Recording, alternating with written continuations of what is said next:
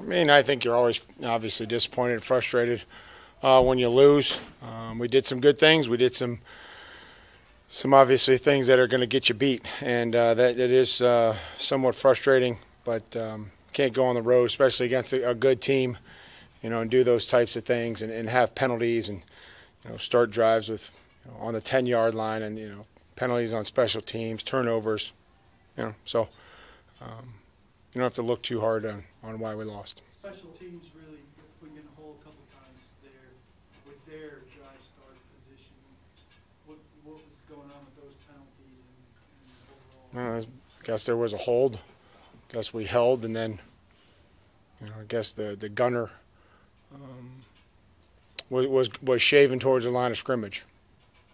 I think they explained the penalties out on the field. How much might you feel like this team needs to get, to get a bye, reset, maybe get healthy, and come make a run now down the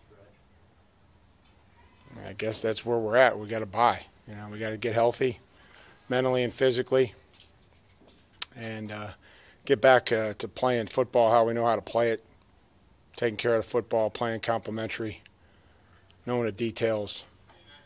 You know, a lot of things to improve. Fumbles uncharacteristic of the team generally. Obviously got a lot of Yeah, we got all three backs fumbled today, so yeah, we got to take care of the football. When you say you want your guys to get healthy mentally, can you kind of elaborate Yeah, you know, what I mean, we we we um, you know we've lost two games in a row. You know, we've lost two games in a row. We lost in, at home, came on the on the road, and, and played uh, very competitively for the first half. You know, they're they're disappointed, um, and obviously the way that the game went in the second half. You know, a lot of these guys have uh, you know been grinding through, pushing through. So a lot to, to do with uh, you know mental health of just you know dealing with injuries and dealing with things. This is a good time for for us all to reset and, and focus on this football team and, uh, and getting healthy in, in all aspects. Mike, uh, what was the difference with the run game? 270 yards, uh, pretty impressive. I mean, I, um, give our guys credit, you know, but this game's about points, not stats.